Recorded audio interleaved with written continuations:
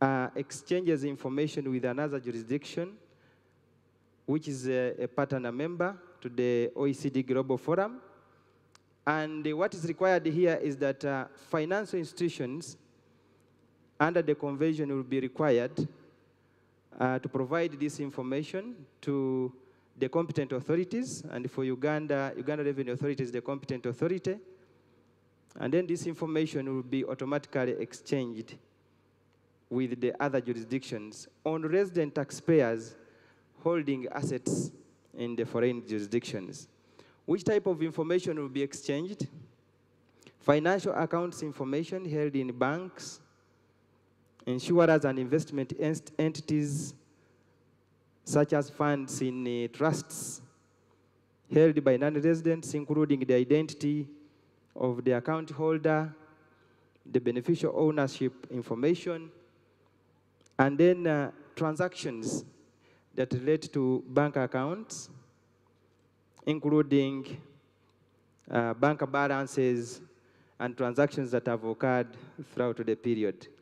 And also other earnings like dividends, incomes that are made from sales, proceeds from assets will be shared.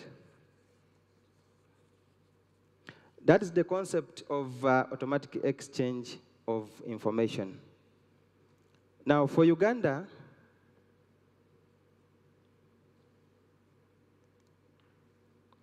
Uganda joined the Global Forum, became one of the members of the Global Forum, which is an initiative under the Organization for Economic Cooperation and Development in 2012. And now we are 162 member countries that are signatory to the convention. And uh, Uganda already started implementing the exchange of information on request, which I highlighted to you that uh, if I'm conducting an investigation or I have a tax matter to examine, and I have a taxpayer A and there is information that uh, possibly I need on part of their transaction they conducted in the jurisdiction A, I can be able to write to that jurisdiction and they provide me that information and I use it for tax purposes. So there we have made over 265 requests and uh, over 200 billion has been uh, collected in revenue from that external information. Now, the journey is on for automatic exchange of information. Uganda made a commitment in 2021 to implementing the automatic exchange of information standard. And uh, come September 2025, we shall be receiving the information automatically. My commissioner talked about the law that was enacted effective 1st July, and that's the law that will enable us to obtain this information. And when Uganda finally implements the automatic exchange of information, we shall join a network of over 120 countries that we shall be receiving information from uh, regarding resident taxpayers who hold accounts, financial information, assets in foreign jurisdictions that if you have declared it already, that will be no problem. How will this occur?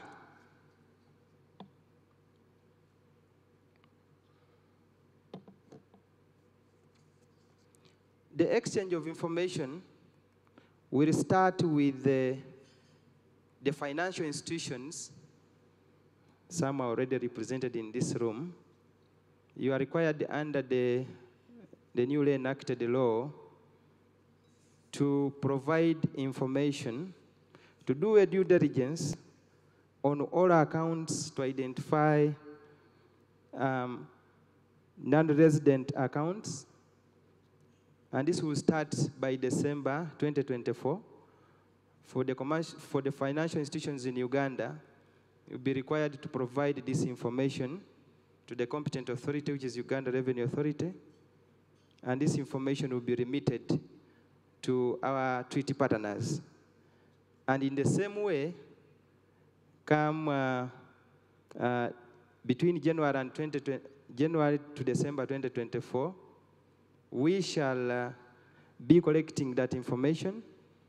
And when it comes to September 2025, that information shall be received automatically by Uganda Revenue Authority for review of your tax matters. Now, why the event of today, the voluntary disclosure program, our chief guest uh, and uh, our guests in the room, is for us not to wait for September 2025 when the taxman will receive the information automatically. And uh, because when it comes to that time, we shall have the information and then we shall assess your, your compliance uh, status. The voluntary disclosure program is here for Uganda, and this is an opportunity that we have. Now it's about 20 months, and I know uh, my Commissioner General will be maybe promising some of the benefits that we need to, uh, to anticipate in this period of 20 months, that you come front and uh, bring this information that you can enjoy. The voluntary disclosure program, it is for persons who are resident for tax purposes in Uganda, and they are holding offshore financial information. And the launch today is to invite you to come and declare to URA right from now up to June 2025. Then you will tap into the VDP benefits scheme, which will be unveiled, unveiled by the Commissioner General and our, and our chief guest. And uh, me, David, as the tax investigator, I will not have any problem with you. How will this happen? How to disclose? Like the commissioner already highlighted, a team has been uh, extensively trained. We are prepared to handle this exercise and uh, we have availed a platform. We have a form called the Foreign Assets Disclosure Form that is already up and running on the URA web portal. You get there and download it, uh, and then fill it, attach any supporting documents, the form highlights some of the supporting documents. For example, if you are declaring uh, immovable property that you own in the offshore, you should be able to indicate ownership, how you control it and the interests you have, and maybe the details of the bank accounts that you hold. Then this form is, will be submitted. In the interim, we are starting with the download that you can fill and feel the comfort of filling the form and upload. Uh, but shortly we shall be as well creating a web option that you can automatically fill in and that information flows through to our team. Now the VDP specialist team that the commissioner talked about that is already trained will receive this information, examine the disclosure, of course, the principles of voluntary disclosure is that uh, if you have any taxes that you think you, you need to pay, you self-declare, make a payment, and one of the attachments is a payment registration number, and you are simply informing the Commissioner General that, yes, I had this, and I have declared, I have even paid the taxes. So the team will just be able to receive that, examine it, if there are any additional information they need from you, uh, we shall request for that information. But most importantly, will be to usher you into uh, taking on the benefit scheme that's embedded within the voluntary disclosure program. Because you have come voluntarily, and we should be able to lay a red carpet for you as a compliant uh, taxpayer. So that is the journey that we are starting today. And uh, I want to thank you for listening to me. May God bless you all.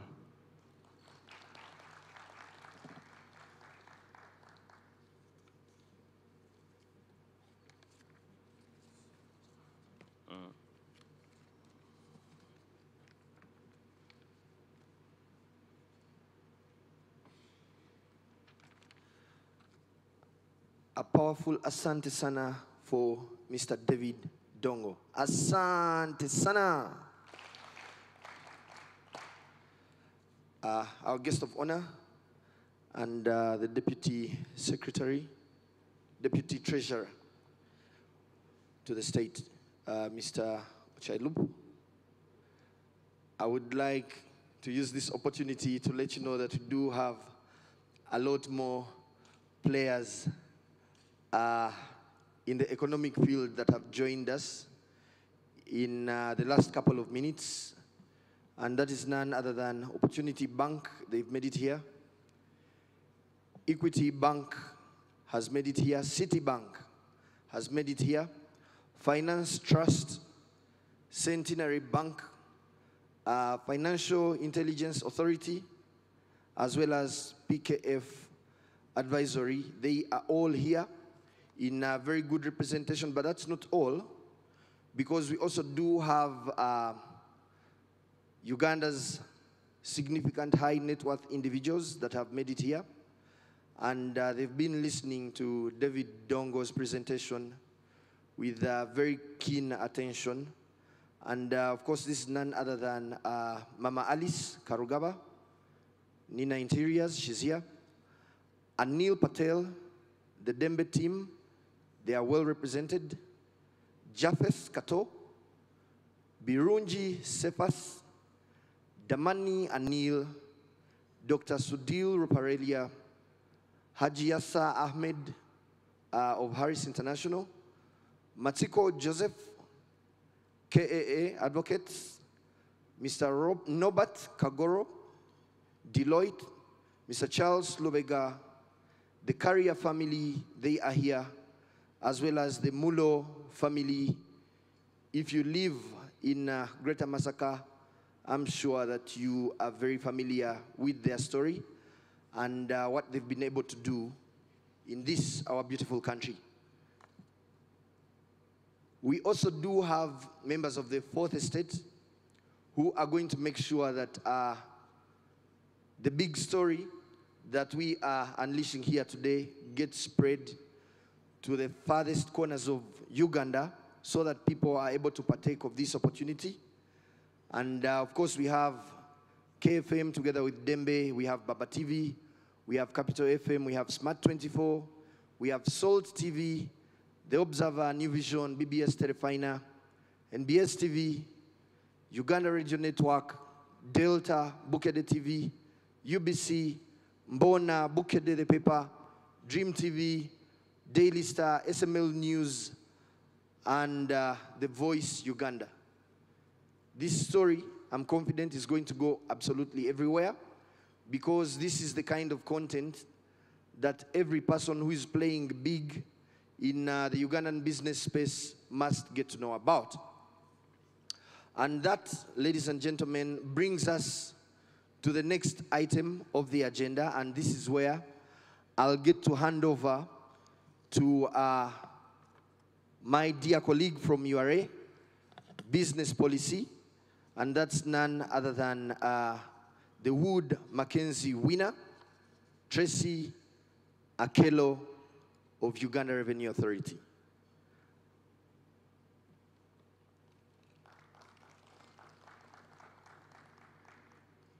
Why do I get a feeling it's only URA clapping? Tracy is a national asset. Let's give her a, a huge round of applause.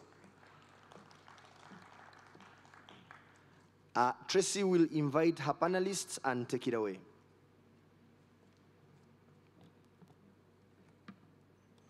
A good afternoon to all of you.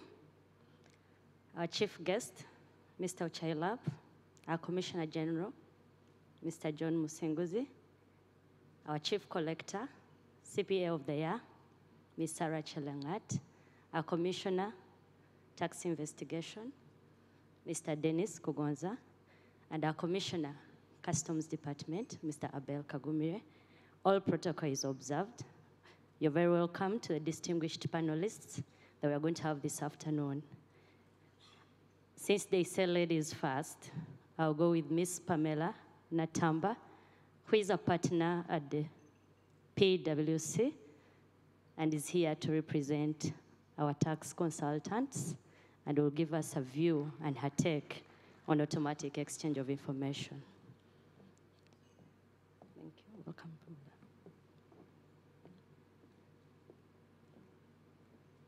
Miss Pamela, you're welcome. Uh, next, I would like to call upon our Chief Collector, Miss Sarah Chelangat. I will explain why I'm calling her the Chief Collector. It's simply because she's the Commissioner Domestic Taxes. That's the reason I'm calling her the Chief Collector. Miss Sarah Chelangat is the Commissioner Domestic Tax Department of the Uganda Revenue Authority. And she's the chief collector because she goes into the trenches to actually do the audits and carry her bag everywhere to be able to fill the revenue basket. Ms. Sarah Chelangat, you're welcome. Um, I would like to then call upon our HMRC policy expert, Mr. Gareth Morgan. Mr. Gareth will give us an insight into how automatic exchange of information got set into the UK and neighboring jurisdictions, among other things. I will then welcome our implementing expert, Mr. Ian Black from the HMRC. Ian will mostly take us through how this has been implemented and the challenges that have been faced in the UK and other jurisdictions. Last, I'd like to call upon our key policy person here, Mr. Alex Byaruhanga from Solicitor General's Office. Mr. Alex is our senior drafts person, he's actually a principal state attorney, very good at policy and has a lot of knowledge in terms of drafting. For those who have drafted, you, you'll appreciate that he's been the person behind the wording in all the tax laws that we've taken a beating for. Alex, you're welcome. That, ladies and gentlemen, is our panel today. Without wasting time, we'll get started. I'll not ask the panel to introduce themselves because I've done that. My first question will go to Ms. Pamela. As a tax expert, what's your understanding of the Mutual Administrative Assistance in Tax Matters Implementation Act 2023 in as far as exchange of automatic, automatic exchange of information is concerned?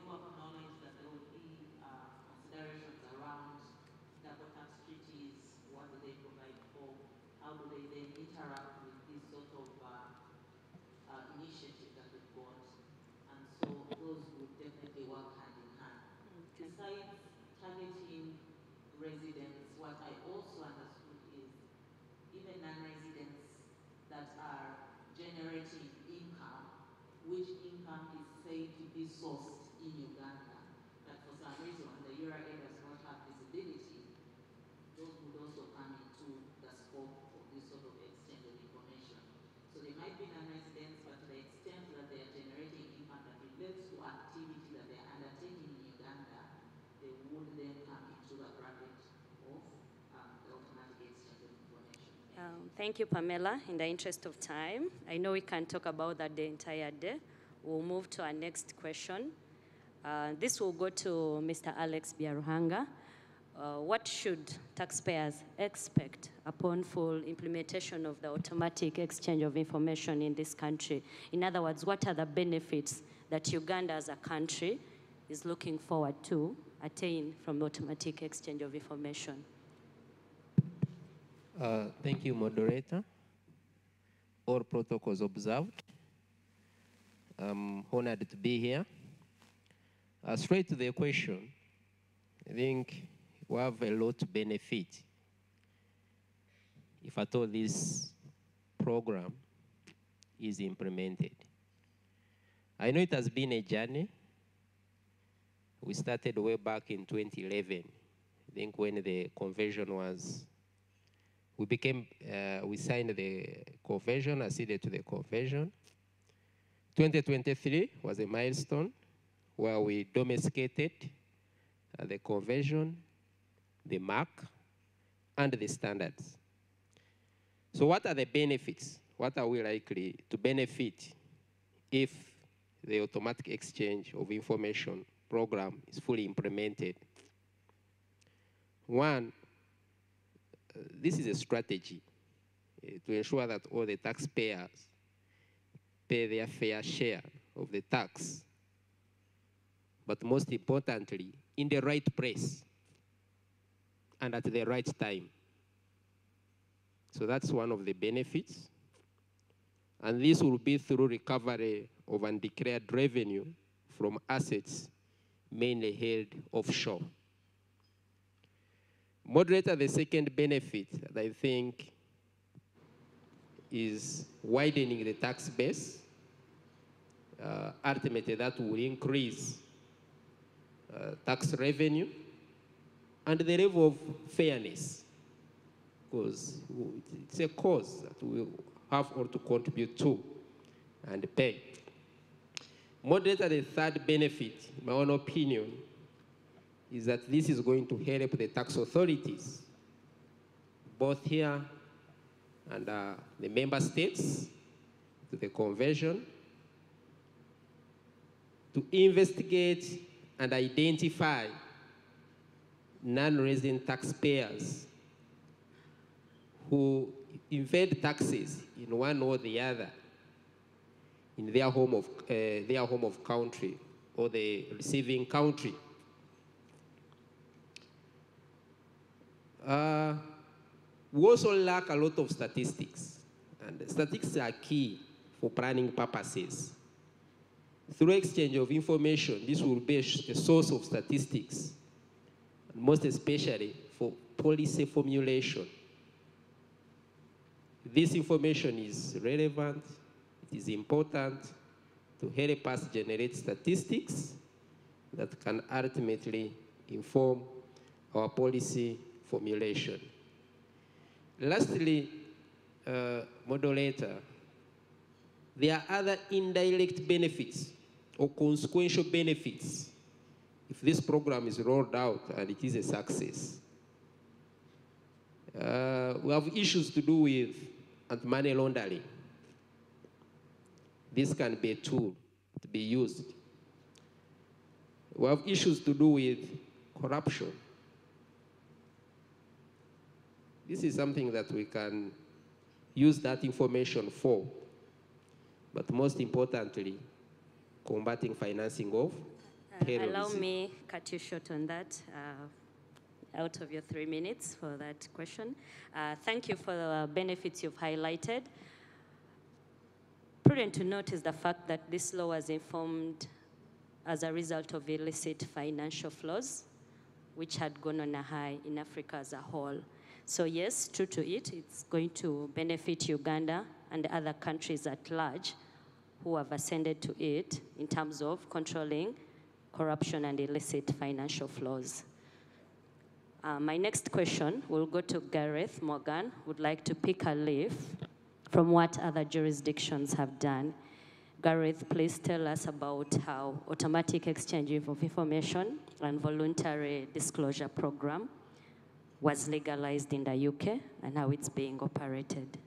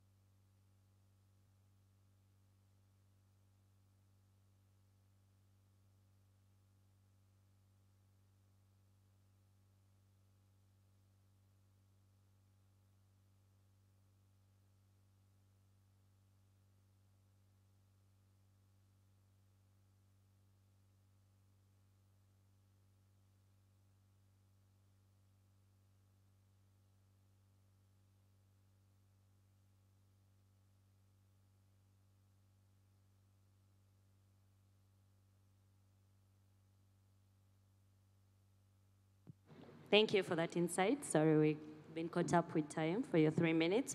I'll then move to the CPA of the year. I would like to address the issue of why transparency in cross-border financial transactions is important for Uganda as a country in terms of revenue and investment.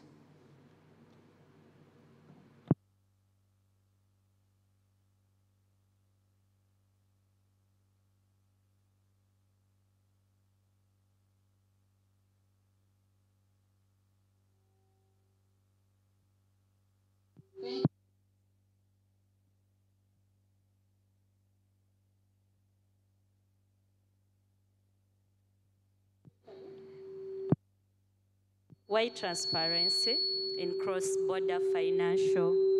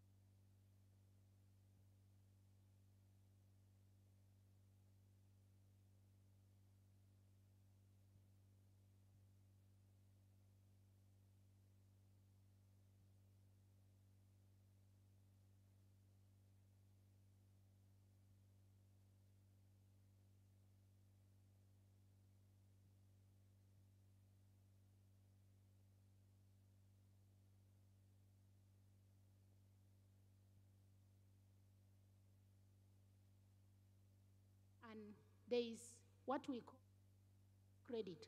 You may have paid tax offshore. Uganda may not have to tax you more. Uganda will just want that fare of tax that would be equivalent to the Ugandan tax had you earned that income here.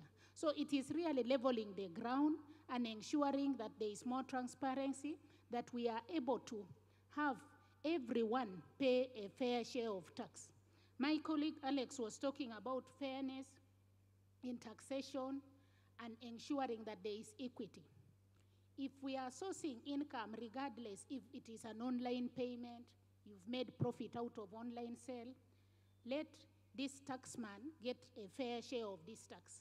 Let us declare it in the correct jurisdiction because countries have a mandate to tax their residents fairly and fully, correctly through this information. So once we get this information, we are going to tax you fairly, we are going to tax the correct fair share of the tax, and even give you the credit that you may be not aware. And most importantly, also, if now you embrace voluntary disclosure, you will be able to, to save yourself from potential penalties, reputation risk, because when we start asking for this information, it's really fair if you come up front and tell us, I have these assets, I have these investments, and we will just tax what is due to us and give you a relief that will be due to you. Thank you.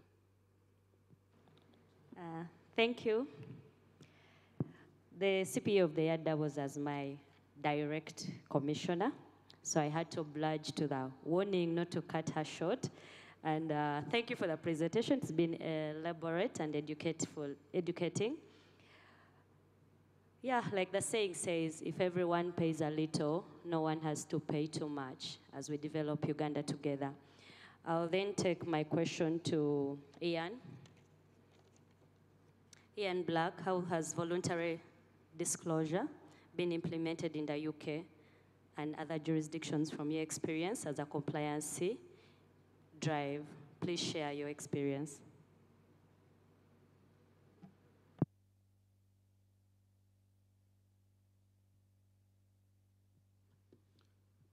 Hello, everyone. Uh, I'm sure that Madam Moderator will forgive me if I go a little bit over time because this is a topic I could talk about at length.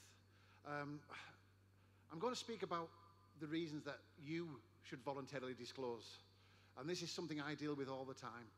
We've talked in general on this stage about the process of voluntary disclosure, what it's like for Uganda. But what a lot of you people will be thinking is, what does it mean to me? Why should I enter into this?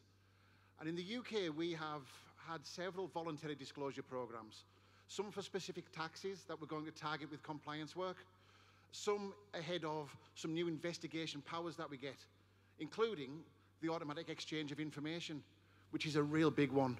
It means that the URA is going to have access to information at a level that it has never had before. And we tend to get, for all of our uh, disclosure programs, three different types of customers.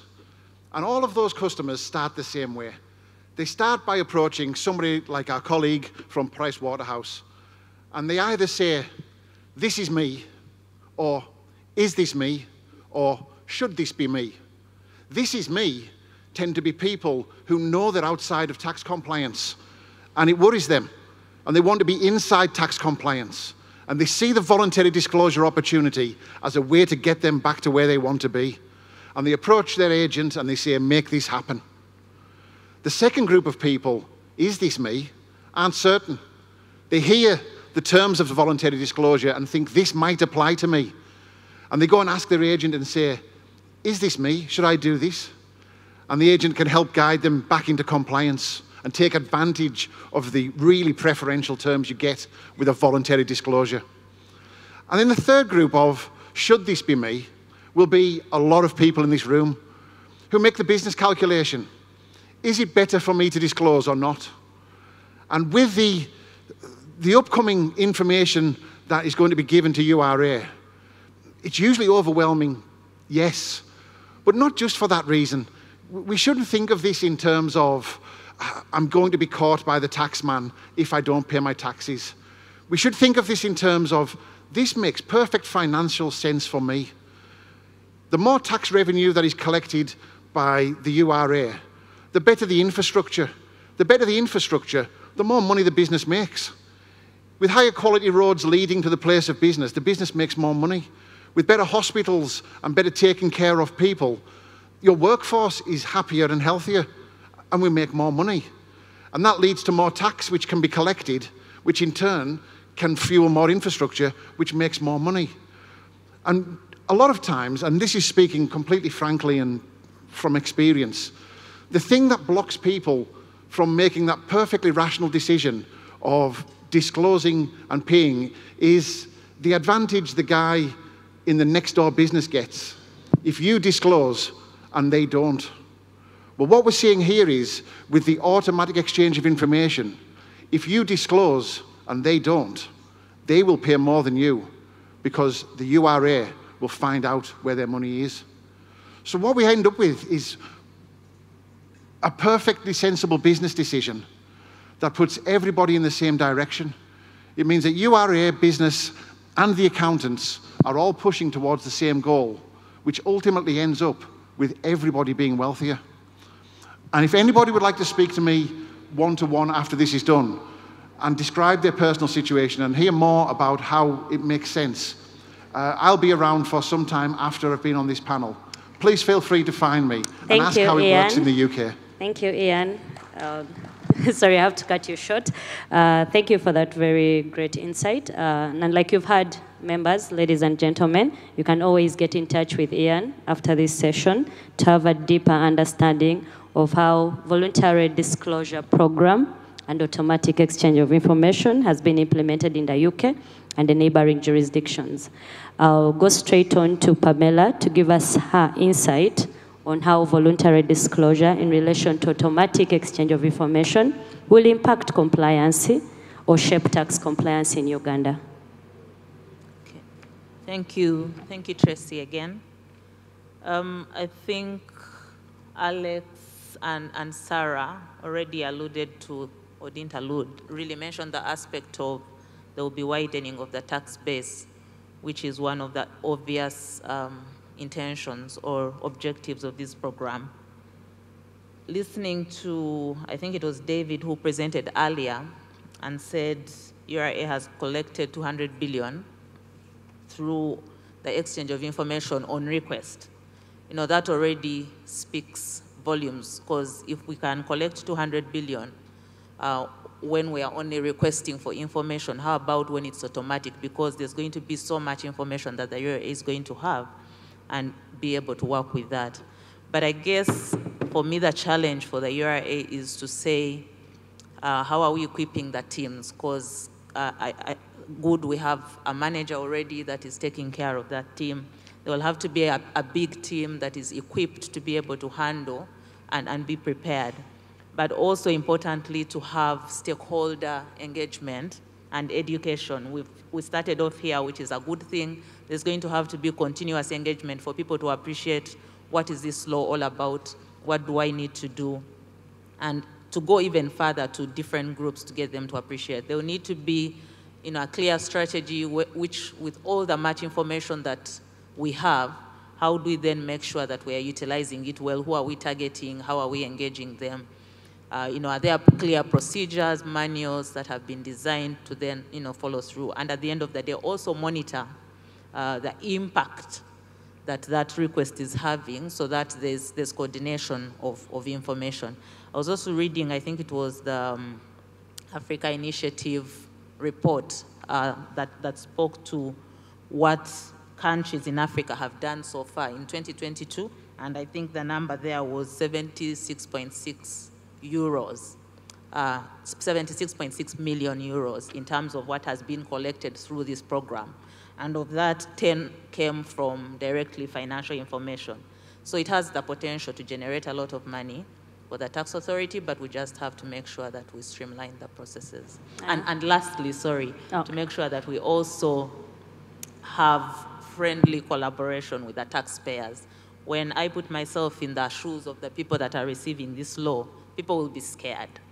And you know, the, the default setting is to think, am I even going to survive this or I'm going to close business? So for URA to be able to amicably engage with taxpayers, implement whatever promises are made on the side of waiving penalties and interest, I think that will help. Thank you. Thank you, Pamela, for that. Yes, she's given her insights, which are very great, and I hope we've taken note of most of them. But key to that is widening of the tax base. I will then move to Gareth Morgan. Uh, what is, what does voluntary disclosure program mean for your taxpayers in the UK, and what would the Ugandan public or the Ugandan citizens or residents take from your experience? Thank you very much. Um, so in, in terms of um, what disclosure means in, in the UK, um, I think disclosure is really something where um, people are more, more able to get, get to the point where they're feeling the, the benefits from the disclosure regime. They're not going to be falling into the bit where there's potential penalties, which can be up to 200%. Um, there's a lot of advantage in disclosing before inf information comes into the, the UK. I think in terms of um, Ugandan citizens, the, we're already preparing information for exchange, and that will be exchanged with Uganda in 2025. Um, and we're obviously not alone in, in that. There's plenty of other jurisdictions that are going to be um, doing that. Um, I, I think um, the, there's a number, as Ian said, there's a number of different reasons why people might want to um, disclose, but I, I, guess ultimately by disclosing, you gain a, a level of um, business certainty, and you, you know you, you, know at that point um, that your tax affairs are sorted, and that you, you're not going to face consequences where you could pot- potentially be named, you could receive penalties, um, you could potentially be imprisoned, in, certainly in the UK. Thank you, Gareth. Uh, yes, I hope uh, taxpayers have gotten a hint of that and the benefits of voluntary disclosure. I'll move to Ms. Sarah Chelangat. We'll take the second question. Uh, who is eligible for the foreign assets disclosure? And if you know them or if they are stated, how do they declare and what should they expect after declaring?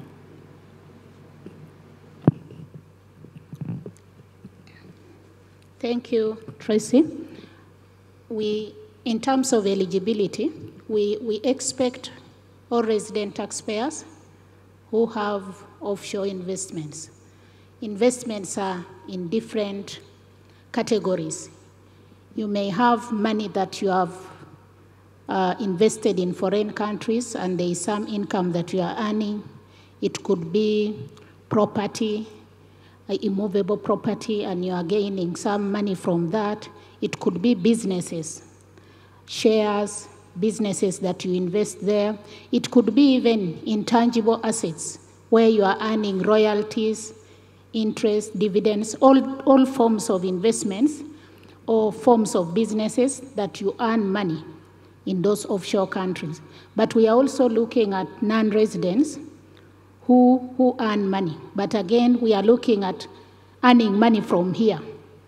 When you look at rules of uh, residence, for non-resident, you should have been here for less than 183 days, which is approximately six months. You have sourced income here. We will only tax you on the income that you have sourced here. And so that is again the limitation of scope in terms of taxation. Uh, the other part of the question was? If the persons have declared, what should they expect? Yeah, in terms of declaration, we already we have procedures of declaring. Uh, the manager, Automatic Exchange, talked about a form which you can get from our web portal, and then you go and populate. But when you declare, we will, we will, you will expect that we will engage with you. We will engage with you and study this information. In some instances, we may need to collaborate some of the information, but where we feel that this information is credible, then we will be able to assess the correct tax. Like I indicated, if there is a window for you to also get a foreign tax credit in respect to foreign tax paid, we will give you that credit. And if it is also a credit that is within the provisions of uh, double tax treaties, we will give you. So sometimes it's really for transparency. You may not have to pay a lot of tax, but it will help us also get tax on other taxpayers where you are declaring this income. I think I'm allowed to cut you short since I had you. no warning this time round. yeah, thank you, Sarah, for that insight. Also, your penalties will be waived if you voluntarily declare your foreign assets. I'll move to Ian once again. I would like you to share with us the challenges that HMRC has faced uh, while trying to implement or push for voluntary disclosure program and uh, automatic exchange of information between the HMRC and other jurisdictions. So, um, yeah, the, again, if I can just be completely honest with everyone, uh, sometimes, no matter how good an opportunity is, it being delivered by the taxman gives it mistrust. And that will be the case here as well, because what you've got is a bunch of tax people telling you that this is a great opportunity. But Gareth and I have seen this, we've looked through it with URA. Trust me, it is a fabulous opportunity. And I would encourage everybody to look deeply into it, talk with their advisors about it, and consider the differences between taking up the opportunity and not. Don't take our word for it. Read the paperwork and see what's there. The second significant issue that we face with voluntary disclosure opportunities is making it so that it's acceptable um, in the way that it's operated. And by that I mean, um, some of this gets very technical, some of this is very, very much in the realm of tax. And a lot of taxpayers just want their life to be simple. They want an easy way forward to be able to get themselves back into compliance so that they are within the law and they can have a stress free future without having to worry about the process happening. And the last thing that a taxpayer wants is to come into a process and that process to cause them more stress. And this is something that we've been working closely with URA on for the last uh, 12 or 18 months, Gareth? 18? To make sure that when people do engage with this fabulous opportunity, that the process of engaging, declaring, paying, and then moving on with a stress-free life is as easy and as straightforward as possible. We believe we've got that. There can always be uh, ways to, uh, to improve, and we are having conversations with people like our friends at Price Waterhouse for the easiest way to do it. So yeah, the two main Thank challenges you. we face. Thank you, Ian, for that. Uh, yeah, we could spend a whole day discussing challenges because, uh, to be honest, there are quite a number. And we'll always experience that as tax collectors in our every day to day life because of the skepticism and the, yeah, the doubt that the taxpayer will always have. Uh, I've seen the financial institutions authority here. I've seen the FCU. I've seen our bank. I've seen Citibank and the likes. So this question relates to the financial institutions. Alex, what is the role of the financial institutions in the implementation of automatic exchange of information and the voluntary disclosure program? Thank you, Tracy. Thank you, moderator. Though you have uh, only uh, recognized the banks, I think the first thing that we need to understand before going to the role is what is a financial institution for purposes of automatic exchange or for purposes of the act that uh, were enacted in 2013. It has quietly broadened the definition of a financial institution from the ordinary meaning as under the Financial Institutions Act or even under the income tax. So under that law, a financial institution includes a depository institution, ordinarily which would be a financial institution or a microfinance deposit-taking institution. It also includes custodial institutions. Now here we are looking at the brokers, depositories, uh, custodial banks. It also includes investment entities. Those are funds, uh, issues to do with investment trusts, portfolios, and it also includes specified insurance companies. So those are financial institutions. That's the meaning of a financial institution for purposes of the Act and for purposes of the automatic exchange of information. Coming to your question, what are their roles? Uh, basically, it has three core roles. Look at the three core roles. One of them is to conduct due diligence obligations. Conduct due diligence obligations to their customers. I'm aware, and I know that there are other laws that allows them to do the due diligence, but this is going to be additional due diligence for purposes of uh, automatic exchange of information on the financial accounts. The law beats guides, that is section six, tells, imposes that obligation, but also guides what kind of due diligence that they will have to do. The second broad role of the financial institutions as defined would be reporting obligations. They do due diligence, collect information at due diligence, but that information is not supposed to gather dust or be kept by the financial institutions.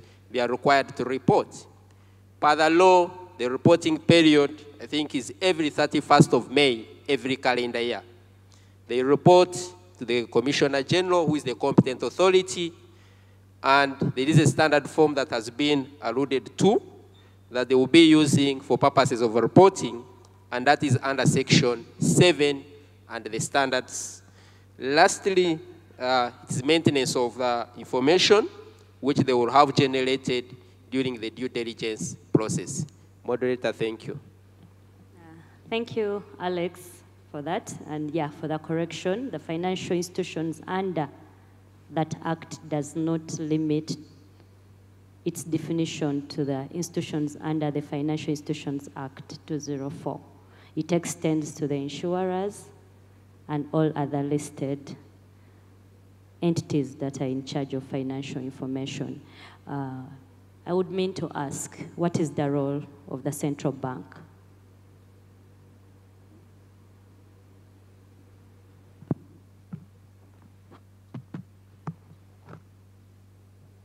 Partly the central bank is the regulator for the one arm of the financial institutions, as I've described what financial institutions are. Uh, those are the depositories. They are largely regulated by the, by, by the central bank. So basically the central bank as a regulator would highly play a coordination role. Thank you, Alex. Uh, I just wanted to highlight that fact because I know that Bank of Uganda is here and the financial institutions must be wondering whether Bank of Uganda is going to report to the competent authority, who is the Commissioner General of Uganda Revenue Authority. Uh, their role, as said, is basically to supervise the financial institutions that it's mandated to supervise and regulate. In case of failure to meet your obligations, then they will help the competent authority to enforce that obligation.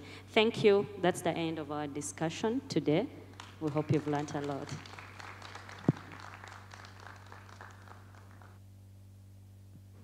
I would request the panelists to take their seats.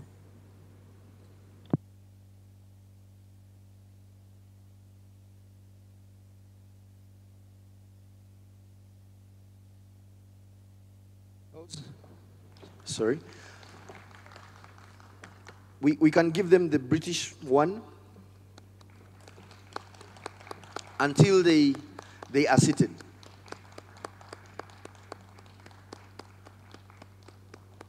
Flowers are in order. And uh, once they have seated, we can give them the Ugandan one, including Tracy. I thought she did tremendously well. Asante sana. That one was for Tracy. Asante sana. That one was for our panelists who really gave us a lot. Um, it is at this point, according to the program, that uh, we get to listen to uh, the Commissioner General of Uganda Revenue Authority. But before we do, please allow me to uh, make mention of uh, a few more delegates that have come into the room.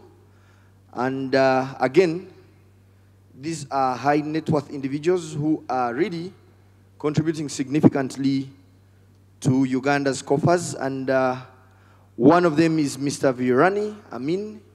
He's in the room. He can wave. Thank you.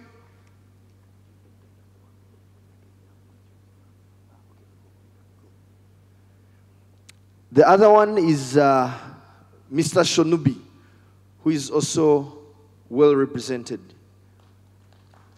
Thank you so much. Uh, thank you for making the time to come and partake of this information from the source when it is still very, very hot.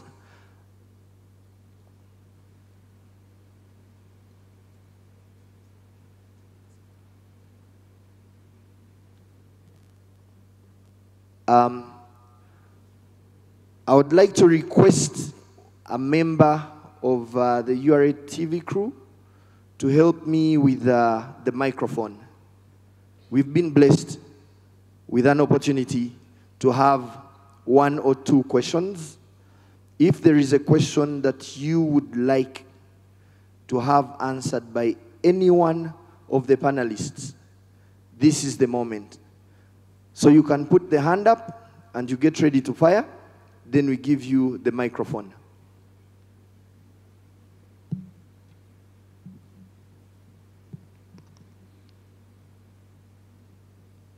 Thank you so much, Alex.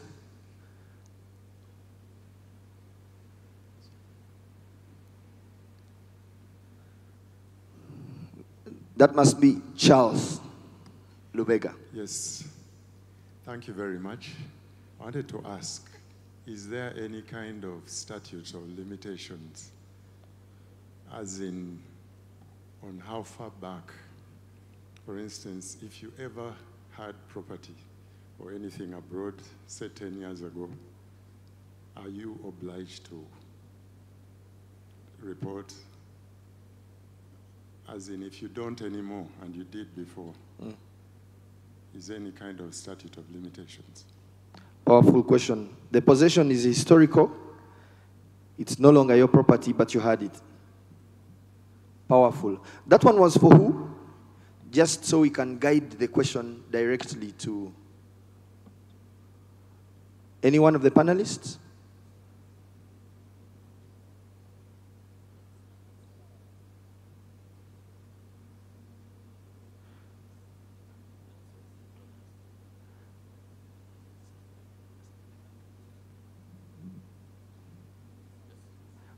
CDT.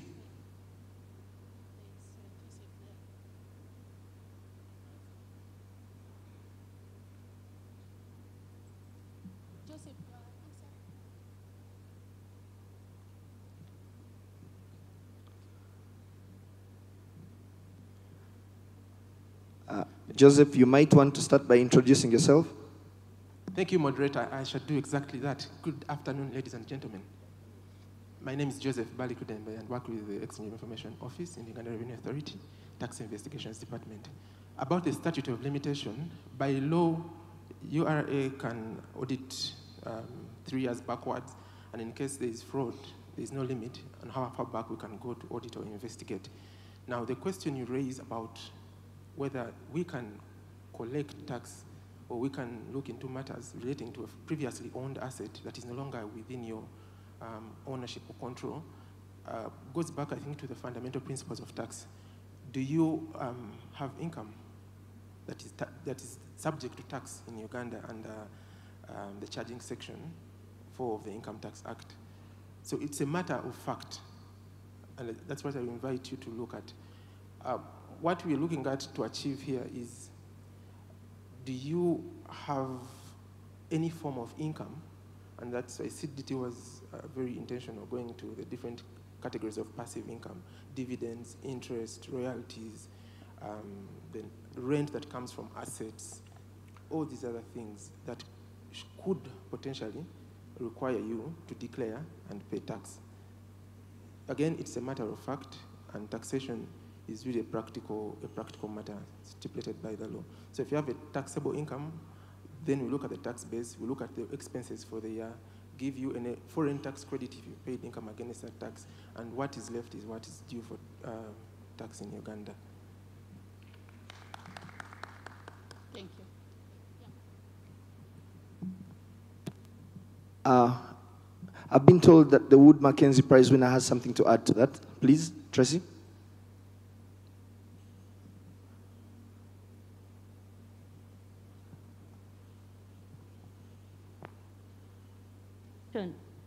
In addition to what Joseph has said, the law in Uganda requires you to keep records for five years.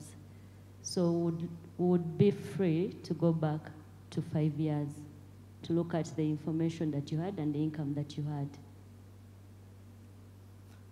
Then beyond the five years, it can only arise where there is fraud or there is an investigation. Okay, uh, my name is Anil Patel. Um, I work with many taxpayers. I'm a partner at Grant Thornton. And, uh, you know, we try to uh, inform all our clients, engage with our clients.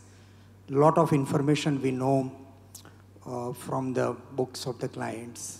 And we choose to talk, talk to clients about voluntary disclosure program, especially under automatic exchange of information. But the challenge that we face, and this question goes to Ian from the perspective of uh, United Kingdom, have you been facing the challenges in terms of the tax rate? Because when you ask taxpayers to declare their affairs of the past, of course, in terms of the foreign investments, being a resident in Uganda, they look at the, the benefit beyond interest and penalty, especially the tax rate where 40% as individual tax rate or capital gain tax rate, which will be the case in most cases of the investments. Have there been a consideration on the, on the tax rates? Because I've, experienced such incentive program, voluntary disclosure program in India, in Kenya and few other countries, wherein they come up with a specific period of time, not, through, not, not the open uh, uh, limit, that should you declare this 100% without exception, no errors, no omission, 100% honest, then this is the tax rate you pay up to this time. This is something which I personally feel that to, you know, to make people think a voluntarily declaration is required. Is this something that in UK you have had experience with? Thank you. Uh, thank you so much for that question. Uh, I wasn't sure where it was destined until I heard the word UK. Uh, yeah, so uh, varying tax rates from um, state to state are always something that we're mindful of in the UK. Um, the voluntary disclosure programs that I've been a part of, the tax has always been the tax, is the tax for that year. Um, the tax rate has been the year in which the tax should have been paid, and the incentives have all come by ways of um, reduced interest or reduced penalties or um, other forms. But I can understand exactly what you're saying in that uh, offering a lower tax rate is an incentive to declaration. The only problem there is that the, um, the states that are defining the tax rate have to be mindful of a race to the bottom where everybody reduces their tax rate to try and get tax in that country and assets just move around the world until nobody's paying much tax at all. It's a, a real high level discussion which kind of takes it out of where I can comment and into the URA's preference and uh, the, the, um, the, uh, the government's uh, preference for how they think best to encourage the maximum amount of revenue. But what I will say is that the the best way to encourage tax in a country is often when everybody starts to see the benefits. When um, the taxpayer pays the tax, their tax generates benefit for the taxpayer. The taxpayer is sometimes happier to pay a higher rate of tax because it generates more money for that taxpayer. But yes, it's definitely something that we're mindful of in the UK, and I know it's something that they're mindful of in Uganda. Uh, thank you so much for sharing the, the experience from the UK. We do have a question on uh, exactly there. Thank you. Uh, good afternoon, ladies and gentlemen. My name is Ian Sesanoga. I'm representing Mr. Joseph Masiko from Kampala Associated Advocates. Uh, this is a very good initiative, and uh, I think I'll pose my question and send it to Alex he was asked to elaborate the benefits of how this is going to benefit the Ugandans. But I think he, he most highlighted the benefits of how it's going to develop the base of increasing the revenue for URA. And I think this is the, this is the, the bottom line is how are we going to trick it down to the Ugandans who are doing business in Kikuubo, away from someone who is doing a, a recruitive business up, uptown in Nakasero because this is where most of the money that is helping our economy is coming from. And uh, the earlier we do it, and maybe is the strategy that we're going to come up with to show people how this is going to be beneficial. Because a one person will have a business in Kisekka or Kikuubo, and then he has a business in Kenya, he has apartments in Kenya. So how are we going to educate him? How are we going to do it? And then the, the, the spark of is, is the people that are enforced into the market away from Mr. Musinguzi, who doesn't do this, but the team that he has below him has to be so, so intentional because the taxpayer has to know that they value them so that we develop the country and the economy. So this is a very, very important thing, I think, ahead of the kickoff for the initiative that has started. Thank you very much. Uh, thank you so much for that submission. Alex will take on the question. Thank you, thank you. I think you have asked the question and answered it as well. the people in Kikuubo, the people in offices, the Ugandans, really what they want are services. And the government can only extend these services if they have the resources. And one of our resource basket is the taxes. So if you widen the tax base, if we are able to tap in those that want to evade taxes, the government will have enough resources. Once they have the enough resources, incentives are going to be extended. Good services are going to be extended to all citizens. And where there are services, where there are infrastructure, then the person doing business in Kikuubo will be facilitated to do his business. Secondly, if we widen the scope, currently we have very few people. So the whole burden is on a few people who are paying the taxes. The Kikuubo people you're talking about, the people in Nakasero who are running offices, are the only ones paying the taxes.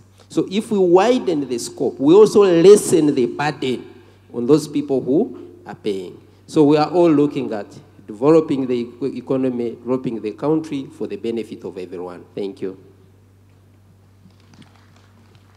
Uh, thank you so much, Alex, for that response. We do have a question from Sir Simon Muyanja. Thank you very much. Uh, Simon Muyanja Rutaya. I call myself a business education activist. Uh, my question is, uh, first I want to commend the, the, the idea uh, that you are every day comes up with something new. But this is the question in my mind as a layman. First, when you talk about voluntary disclosure, you are talking about a certain degree of honesty for somebody to voluntarily disclose what they're doing. And you know that the reason we have a potential uh, population of taxpayers at 7 million and an actual tax register of 3.5 is that many of our business people are not honest. So before we exhaust our own country and maybe have this tax register grow to around 6 or 7 million, don't you risk squeezing the already few in the tax net by this program? I just want you to look at it that way. That even here locally, we still have the challenge of increasing our tax register. We commend you because you have moved from 1.7 to what, where we are now. But there is that pain that keeps coming that even in this, the already compliant few in the tax net will be the very first ones to have this done. We need to do something about increasing our honesty levels if we must achieve what you, you are doing. Nevertheless, there is no better way to start than to start. You have started. Um, thank you so much, Sir Simon, for that. Um, I'm looking out for someone who, oh yeah, Ian?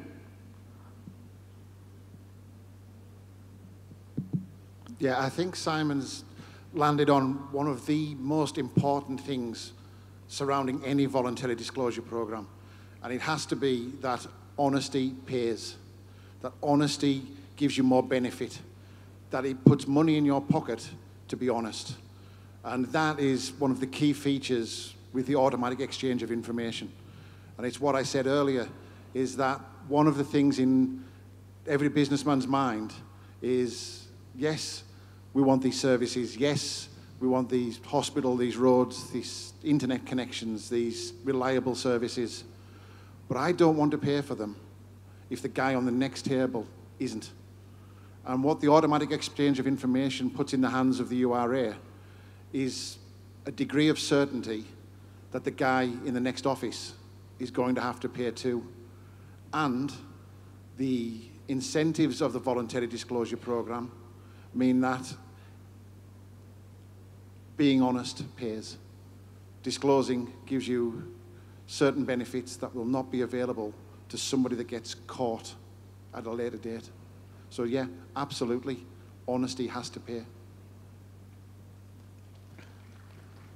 Indeed, it pays to be honest. Uh, thank you so much, our dear panelists, for taking on those questions.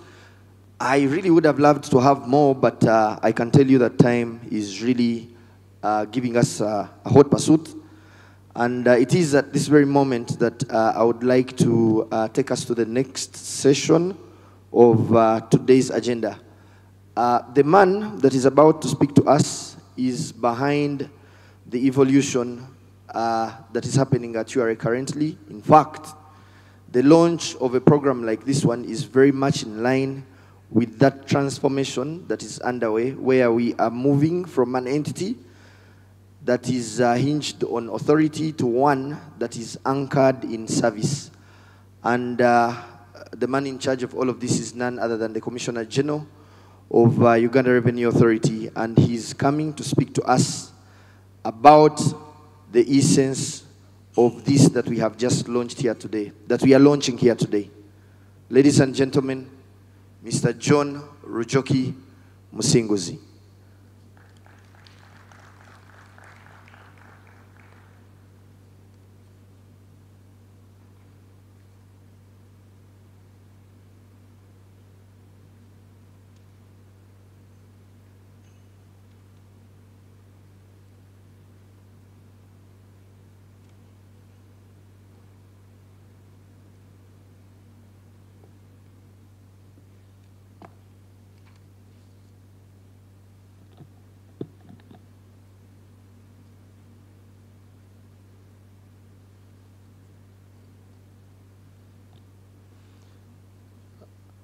Our guest of honor today, the Honorable Minister of Finance, Planning and Economic Development, represented by the Deputy Secretary to Treasury of the Republic of Uganda, Mr. Patrick Ocailap. Um, our distinguished invited guests in your respective capacities, suffice to mention the heads of banks, microfinance, deposit-taking institutions, investment funds, the insurance companies, regulators of the financial institutions, the audit firms and tax agents present, some individuals, respected individuals, high net worth individuals, our dear experts, uh, our friends from the UK, from His Majesty, His Majesty Revenue and Customs Authority, Mr. Ian Black, and Mr. Gareth Morgan, our partners, members of the panel, Ms. Pamela Natamba from PwC, and our brother from the Ministry of Justice, all distinguished guests, ladies and gentlemen, colleagues, members of senior management from Uganda Revenue Authority, and all the staff, good afternoon, ladies and gentlemen. It is indeed my honor and pleasure to welcome you to this great engagement. And I bring you warm greetings from Uganda Revenue Authority. With much pleasure, I welcome you to this very important event. When we launch the voluntary disclosure program, focusing on foreign accounting information and offshore assets under the automatic exchange of information program. Our dear taxpayers and our valued clients, as the world becomes increasingly globalized and cross-border activities become the norm, tax administrations have agreed to work together to ensure that taxpayers uh, pay the right amount of tax in the respective tax jurisdictions. The exchange of information, the automatic exchange of information program is a platform that enhances cooperation between tax authorities and brings together tax administrations in line with the globalized economy. This program promotes transparency and deters offshore tax evasion by allowing countries to exchange financial information automatically and securely. At this time, allow me to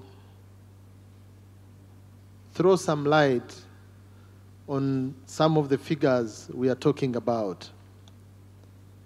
For Africa, which is grappling with the debt to GDP ratio in excess of 60%, it is estimated that about 44% of Africa's wealth lies offshores.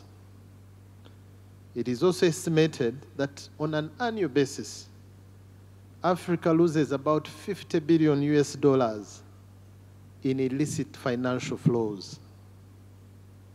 Bringing these statistics closer to home, the last report that I could land on was not very current, but it was from a credible institution, the Global Financial Integrity Report.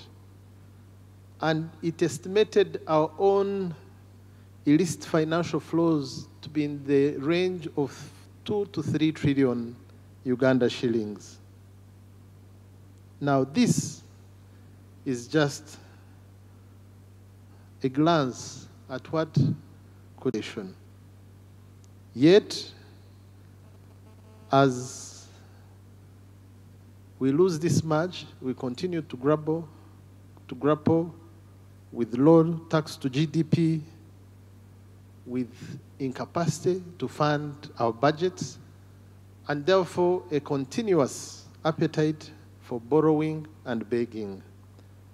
So, friends, as we look into the future, Uganda Revenue Authority is positioning itself to play the critical mandate that we have of mobilizing sufficient revenue for our national development. And there are many initiatives that we are putting in place to make sure that we collect the right tax, and this is one of them. So at this juncture, I would like to appreciate and acknowledge those who have been very supportive in this journey of increasing the revenues that we so badly need for the development of our country. And the first group that I would like to thank are the distinguished ladies and gentlemen in this room, our taxpayers. Thank you very much for sacrificing and fulfilling your civic obligation by paying your taxes. It is true, as has been put by my brother, Mr. Simon Lutaya, that our register is still small compared to our population. And our level of voluntary compliance is still low. But we are working on unlocking those bottlenecks that have been making compliance difficult. And part of that has not been your fault. Some of it has been our fault as tax collectors, but we are addressing that. I would like to announce to you that effective last night midnight, Uganda Revenue Authority launched a revamped and transparent tax ledger registers for all our taxpayers. And as we speak right now, there's a training that is going on for the large taxpayers. So I'm eager to conclude this meeting and allow some of you who want to join that training. What this does, we are transparently displaying the tax registers to all our taxpayers in a very clear uh, periodic, clearly categorized per tax head, so that everybody who wants to know what their tax obligation or arrears are can do this without needing much help from any tax collector to interpret it for him. So my brother, Mr. Neil, the many fights we have had over inaccurate tax ledgers, over unclear principal and penalty amounts is coming to an end. just after this meeting, try and view your tax register. You'll find it different. You'll find our own web portal different. We've always had a web portal that has been difficult for you to navigate and find services that we offer. We have revamped that. We have revamped our, our tax ledgers. We started the transitioning with the large taxpayers midnight last night. And like any new system, maybe there will be some uh, errors or some things that will not flow well. But I can assure you, where we are going, we can see it.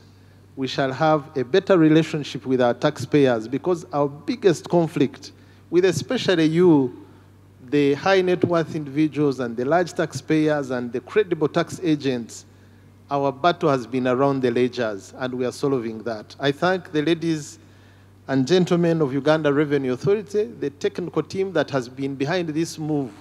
I can testify they've not had sleep for the last three months. They've not had no weekend. And they've worked every day and every night without necessarily getting any extra incentive. But we are deliberate. We know that some of the obstacles to compliance has been the weaknesses on our side. So this is one other good program that we are bringing on board. And at this juncture, I would like to thank the experts who have supported us on this journey.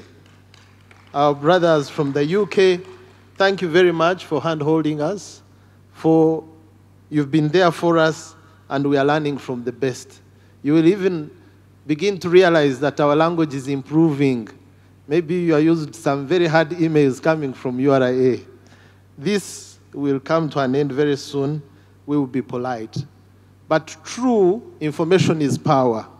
With this kind of information at our disposal, we will be able to effectively determine what is the fair tax for every citizen and everyone who is playing a role in our economy and earning some income. Therefore, voluntary disclosure comes in handy. We can voluntarily disclose and we pay only the tax that we are supposed to pay without compounding it with interest and penalty for non-disclosure. And as you rightly asked the question, I think it was Mr. Neil who asked, how long can we go back? No, I think it is, uh, it was another person. Yes, uh, I, I, I, but that was a very valid question. How far back can we go? As Uganda Revenue Authority, we have no intention to go beyond the three years that we expected to audit your books. So if you can voluntarily disclose the activities in the last three years, that will be sufficient. The only exception to that period is if we think the information given is not complete or if we think uh, there is some element of fraud. So with voluntary disclosure, if you can give us what you have, uh, what you should have earned in the three years and you do it transparently and openly, I think we'll be good to go. And then you can have a peaceful night, rest, knowing there is nothing hanging around your neck to take away your freedom. Every individual who participates in this program will have the automatic benefit of improved compliance status with the URA. And there are many benefits that come with this. If you're an importer, we have some preferential treatment for those that we trust as compliant taxpayers. We call them authorized economic operators. If you're a large taxpayer, you also will be treated with a lot of efficiency and uh, preferential treatment once you are totally compliant. Requests like, uh, like uh, TCCs will be processed automatically and many other services. So ladies and gentlemen, a compliant taxpayer will have uh, many benefits as an individual. But the bigger question of the citizens of Uganda, the question that was raised by the gentleman from KAA, Ugandans will benefit because taxes are for service delivery. So if we can be able as a nation to raise enough taxes to repair our roads, to fix our hospitals, to educate our children, to facilitate our soldiers who protect us, then Uganda will be a peaceful country for all to enjoy. But more so, as a nation, it is also time for us to stand for our sovereignty. I do not have to mention some of the pressures around us today are a warning sign that we must be self-sufficient. And this is the agenda of Uganda Revenue Authority. We will work day and night. We will expand the tax ledgers. We will improve our service delivery. We will bring programs like this voluntary disclosure, and we'll make sure that we raise enough revenue for our national development. But this is not a journey we can walk alone, and this is the reason for this engagement. We will bank on you, our credible tax agents, to advise the taxpayers correctly. And at this point, I want to appreciate our brother, Mr. Neil from Grant Thornton. We had an engagement in this hall uh, a few months ago, and I mentioned about this law. It had just been passed. And I asked the tax agent, uh, Grant Thornton, to encourage their clients. And I want to thank you, Mr. Neil. Following that meeting, I started receiving some voluntary disclosures. Please keep it up and let the rest of our colleagues in this space take up the example. We will receive, I promise you that Uganda Revenue Authority will serve you efficiently. Once you disclose, we will get back to you and we'll make sure that all the interest and penalties that should be paid are waived and then you pay the right tax. As I conclude, I don't want to miss this opportunity to remind you about another important waiver that is in our law, which is expiring in one and a half months. This is uh, TPC, the Tax Procedure Code, Section 40D. This waiver will, this, this, this waiver will benefit everybody who has tax arrears and is able to pay the principal before 31st of December 2023.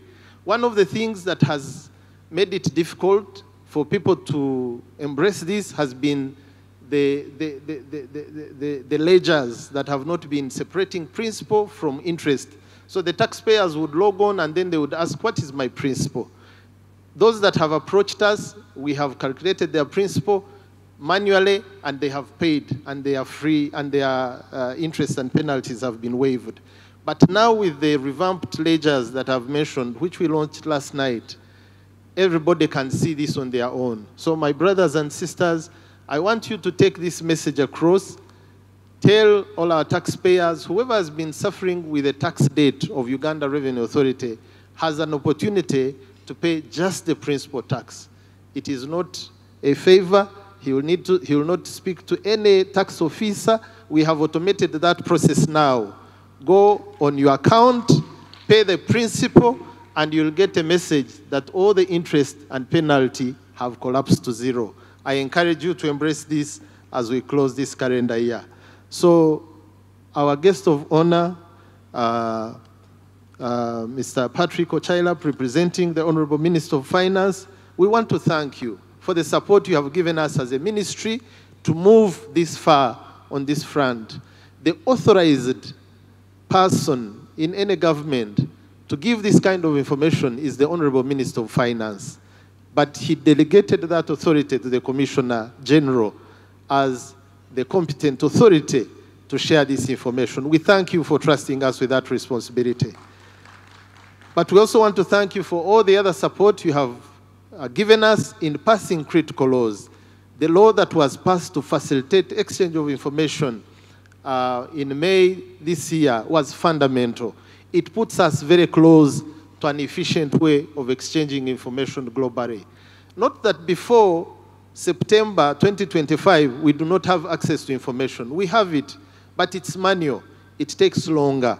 So we thank you for helping Uganda and uh, making sure that we are part of the Convention for uh, Mutual Administrative Assistance and that going forward, Uganda will be recognized as one of the trusted partners that can securely and safely exchange information with the global economy. This will take us far. As you've rightly indicated, we've been able to collect about 256 billion through this program. When it is manual, when it takes us six months to collect the information, the moment it's automatic, we should be able to benefit the way other jurisdictions have benefited. I was looking at some statistics, and for South Africa, Last year alone, they were able to collect 312 million US dollars through automatic exchange of information. A similar story is told about Ghana, Nigeria, Mauritius. Those are some of the African countries that have already stepped into this space. Uganda is looking forward to join this great club at the beginning of 2025. But even before we get there, let's embrace voluntary disclosure. Let's work together honestly. Let's raise enough revenue to build our nation. With these remarks, I would like to once again thank you, ladies and gentlemen, for saving time to come and be with us this morning. This is just the beginning. We'll have many other engagements in the days ahead to explain this concept further. I thank our experts for traveling from far to come and be with us. Uh, Morgan and Ian, thank you so much for joining us again. I want to thank our guest of honor, our Honorable Minister uh, of Finance, represented by the Deputy Secretary to Treasury, Mr. Patrick Ocailap, for saving time to come and spend the better half of the day with us as we launch this important program. It is therefore my singular pleasure and honor to welcome you, Honorable Minister, to come and address this gathering and also assure the citizens that going forward, we will all join hands to raise enough revenue and we will save you from the burden of borrowing and begging for the operations of our country. Thank you very much. Mr. Patrick Ocailap, you're welcome.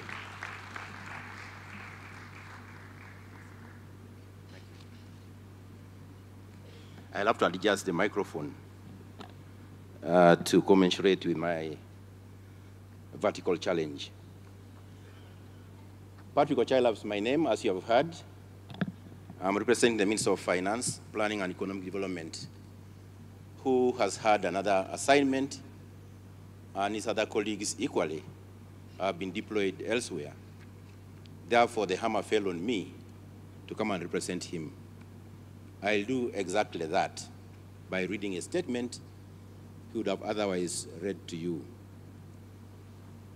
The experts from His Majesty's Revenue and Customs um, section, Mr. Gareth Morgan, Henry, and Mr. Black Ian, the Commissioner General of Uganda Revenue Authority, our esteemed taxpayers, distinguished representatives from different ministries, departments, and agencies, ladies and gentlemen, I extend a warm welcome to you all and thank you for accepting to take part in today's launch of the Voluntary Disclosure Program. This launch is an important milestone in Uganda's journey towards full implementation of the Convention on Mutual Administrative Assistance in Tax Matters Implementation Act that was enacted by Parliament of Uganda on 1st July 2023. By enacting this law, Uganda joins a list of more than 120 countries that have committed to tackle illicit financial flows and enhance domestic revenue mobilization through automatic exchange of information. Implementation of this automatic exchange of information is crucial, a crucial, a crucial investigation and enforcement intervention in Uganda by namely increasing our effort in domestic revenue mobilization, whose pillars have been uh, started in the last five financial years and covered EFRIS, for example, digital stamps, automation of government, I mean, uh, revenue collection systems, linkage with other agencies of government in order to share information and become a source of information for assessment of taxes in the right way. We shall continue this journey. And this one is one of those journeys that are meant to expand the tax base and transparently handle the tax affairs of all taxpayers without segregation. Particularly, it hinges on the fiscal response to Uganda's need for us to raise revenue to finance a larger part of our expenditures.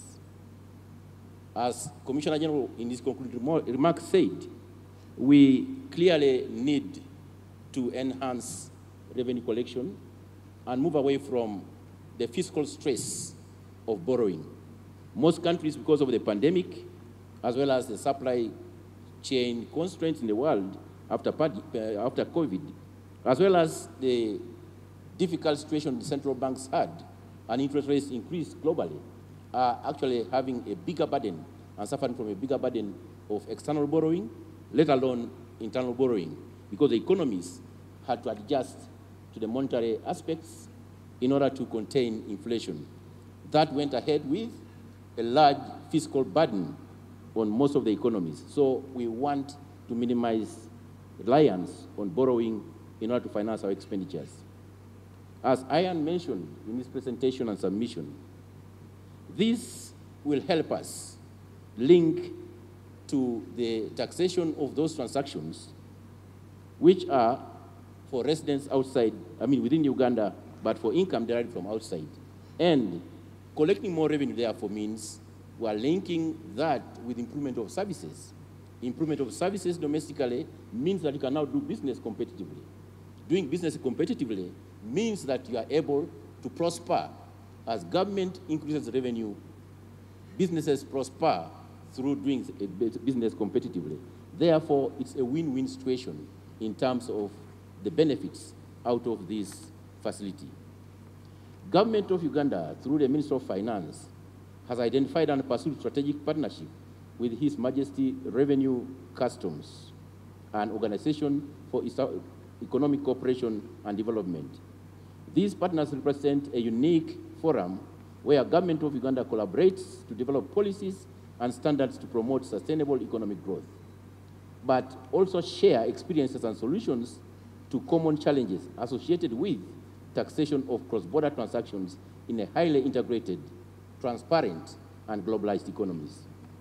The launch of the Voluntary Disclosure Globalized Econo Program, a partnership between URA and Her Majesty's Revenue and Customs Services, is an attestation of this strong relationship. I commend Her Majesty's uh, Department for this cooperation. Obugala Banange. Uganda is among the 167 jurisdictions dedicated to improving transparency and the exchange of information for tax purposes. As already mentioned by the Commissioner General of Uganda Revenue Authority, Uganda started implement, implementing the exchange of information, although on a manual basis, in 2014, which yielded the tax revenue that has been mentioned, about 243 billion. It's paltry, but it's a very good start.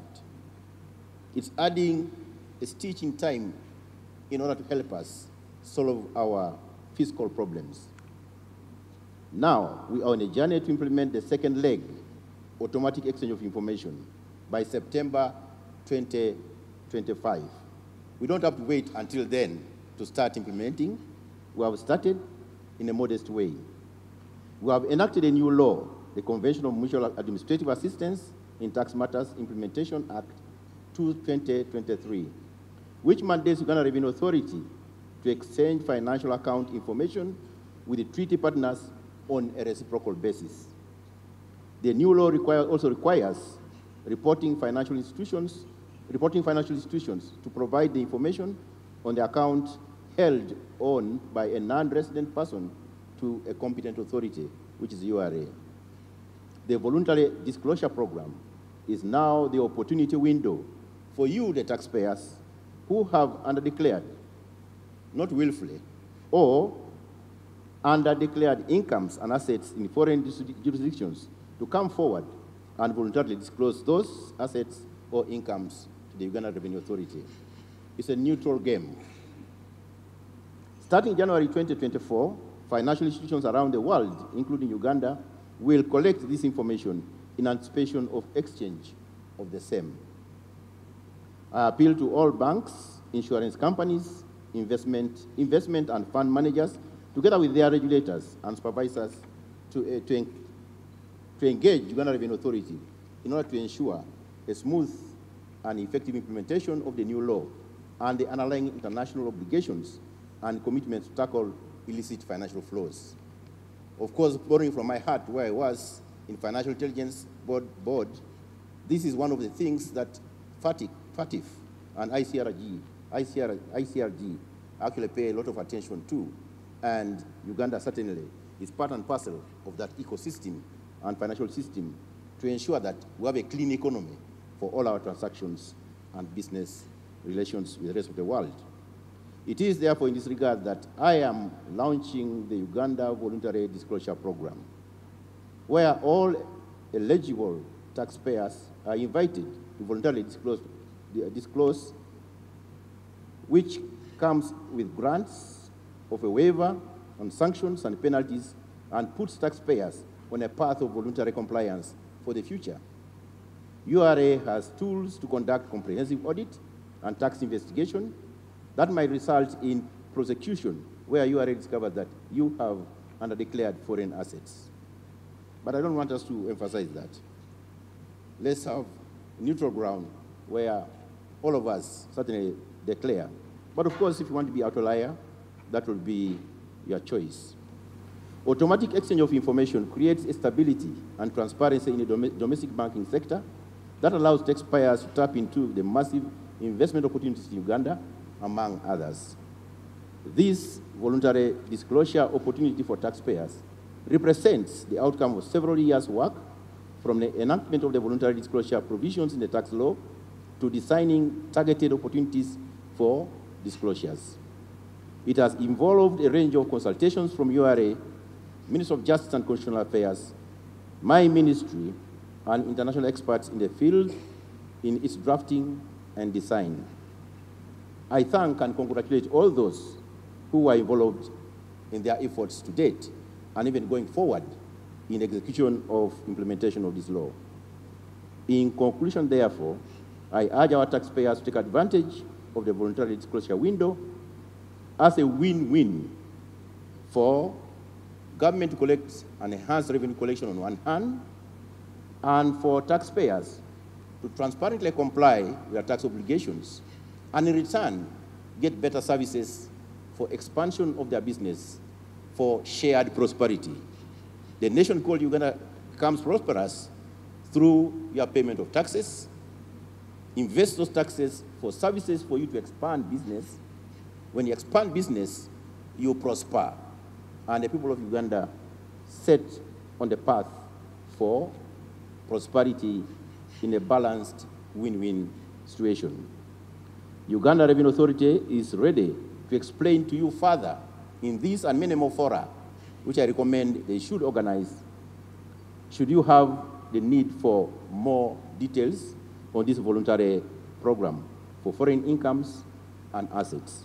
I thank you all for God and my country. Thank you.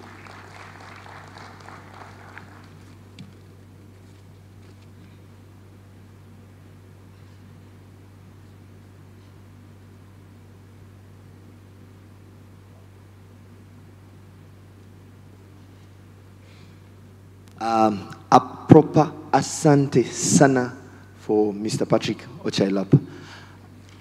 Let's first warm it. This is important. Asante sana. Beautiful. And indeed, at this very minute, uh, our guest of honor is going to be joined by uh, the Commissioner General, by the Commissioner TID, by the Commissioner Domestic Taxes, uh, by our panelists, because we are going to have a digital launch of uh, the AEOI Voluntary Disclosure Program right here, right now. It's a digital launch. And uh, of course, some taxpayers. Uh, I'm inclined to invite Mr. Charles Lovega. Uh, is, a, is a name that came to mind real quick. Mr. Shonubi, our friend from Grant Thornton, powerful. PWC, of course. Um, representation. All, all of you are here by extension through them. This is a beautiful product for both the collector and uh, the administrator. I think we are headed for the very best. Okay, we go for the launch and we make it official.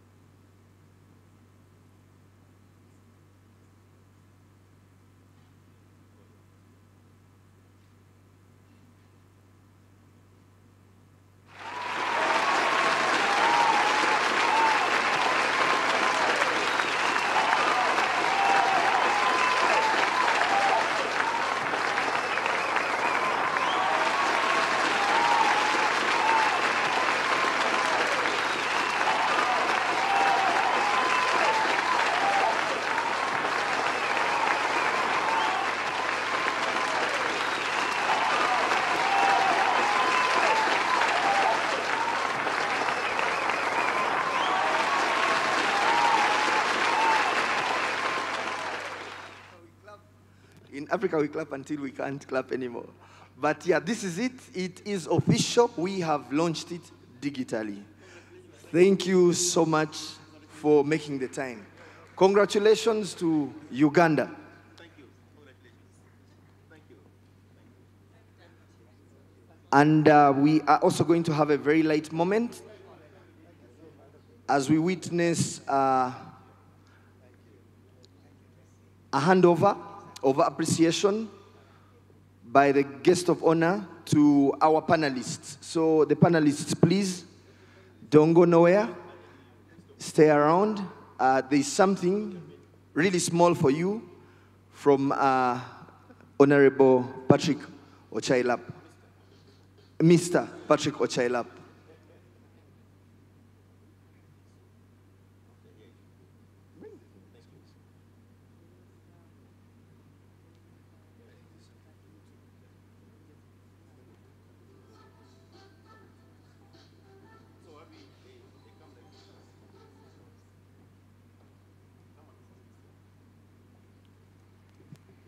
That particular one is for uh, the Commissioner Domestic Taxes, CPA of there, Ms. Sarah Chelangat.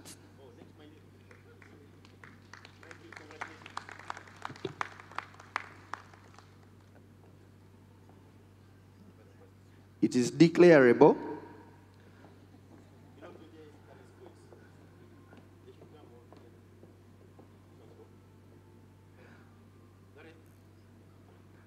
Mr. Gareth from Uganda to you.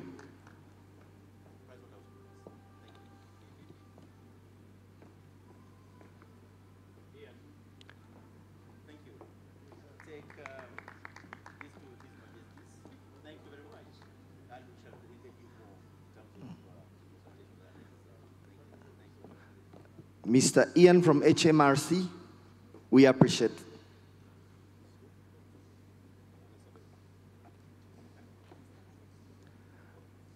Mr. Alex Byaruhanga, thank you so much for sharing your wealth of knowledge with us.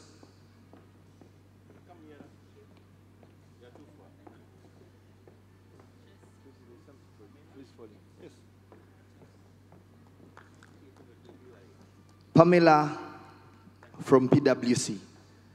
Thank you so much for sharing your wealth of knowledge, not just today, but always. She's an ever present. And lastly, Tracy, you are his very own, and uh, the Wood Mackenzie winner 2023. Thank you so much.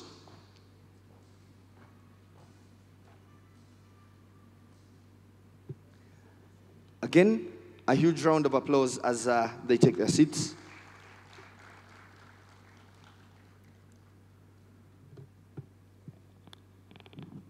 I love it when events end early because we've had a Kodak moment. We've had a big moment. We've had the big launch. But please be sure to get a coupon for lunch on your way out. Don't miss out on dinner. Dinner is served courtesy of uh, the government of Uganda through URA. Do enjoy your taxes, at least at this very dinner. Don't leave anything on the plate. From all of us at URA to all of you, thank you so much for making the time. Thank you so much for gracing this. The discussion continues because it's basically only the beginning. Uh, we are going to be coming with powerfully packaged products via URA TV and so many of our communication platforms to make sure that the message gets to absolutely everybody. So when we call upon you, experts, taxpayers, please do make a minute and uh, grace our various platforms so that we are able to have this beautiful exchange. Again, feedback is food for champions. To perfect and refine a product, it goes through consistent improvement. So never hesitate to share a thing or two that you think could actually add value to this. Uh, from all of us to all of you, adios. For um, the coupons, you'll be getting them on your way up. And we are certainly going to have a minute with uh, the journalists. The Friends of the Fourth Estate are here. They would like to say a thing or two.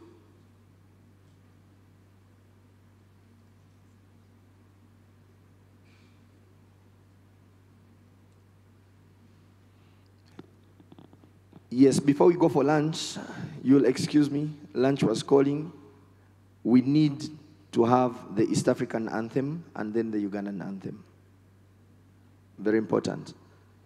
So we shall arise and sing the anthems in the order of East Africa first, then Uganda anthem.